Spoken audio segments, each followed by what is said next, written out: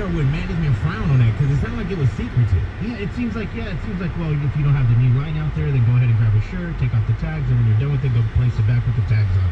I guess they have the power to do that, but man, imagine going home and then putting on the shirt, and then you're like, man, why does it smell like armpit?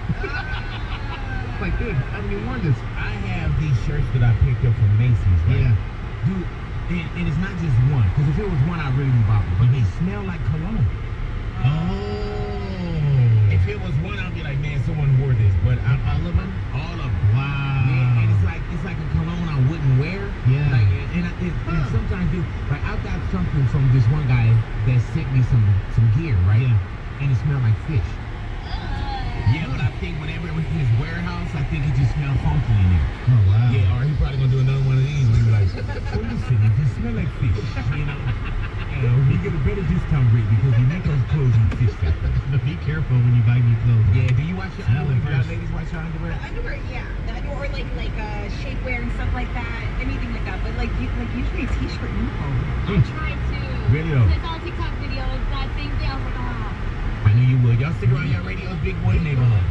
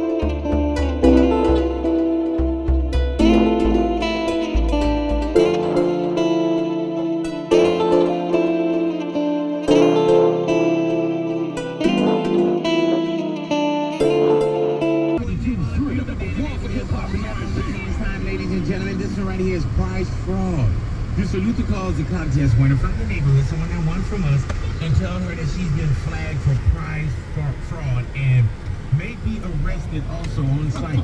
Yeah, you had to go the extra distance. Let's go to get into your phone, tap on the teens right here, Big Boys Neighborhood.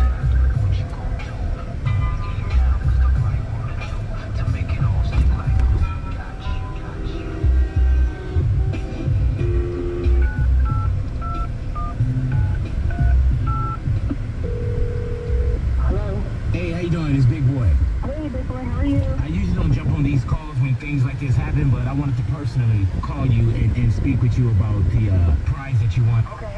We can't honor it, so it's not going to happen. What? Why? What, what happened? You're flagged as what we call a prize pig. And what a prize pig is, is that they said in the system once they checked it that you won four times in the last 60 days. Uh, are you serious? Do you know uh, Richard Salazar? He was actually a coworker of mine. There's been a winner under that phone number. He's never had the phone number. Richard Salazar, Roberto Ramirez, uh, Bill Smith, No. T. Norman's, they all said that those comes back, that come back to you. Like I said, they, they got you flagged as a prize pig, so, and they said you won four times in the last 60 days. Can you put on hold for a quick second? Yeah, hold on for a second. So I went through the records, and uh, it's a case. This is prize fraud. Just giving you a heads up. Now I look like the bad guy.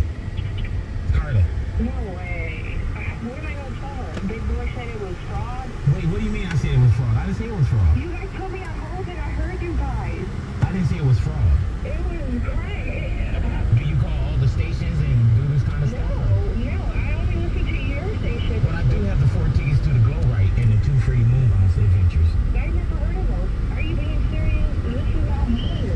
Why would you say it's me? Let me, let me just give you this number so you, you can call directly to them. What is it? It's 818 730. Uh-huh.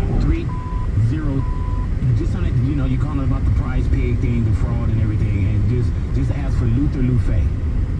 Oh my god.